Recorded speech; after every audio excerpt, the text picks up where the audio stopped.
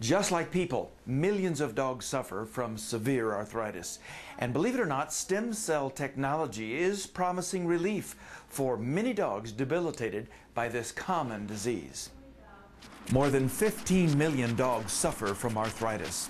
Yet even though we have good medications, many pets are still miserable. High-tech help is on the horizon. Technology developed by VetStem is bringing relief to painful dogs. Known as regenerative medicine, VetStem uses the pet's own stem cells, harvested from body fat, to regenerate cartilage.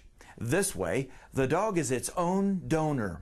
Stem cells have the ability to develop into a variety of specialized cell types, which decrease inflammation and increase healing.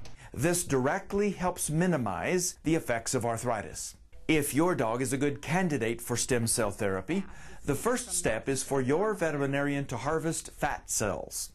After laboratory purification and enrichment, this special therapy is sent back to your veterinarian and will be injected into your pet's affected joints. Now, arthritis is not curable. You manage the disease with pain relief medications, weight reduction, and some environmental changes to make life more comfortable. Stem cell therapy may give your dog one more chance to live a more comfortable life. Now, it should be noted these are not embryonic stem cells. These are stem cells derived from the dog's own fat, so the dog is its own donor.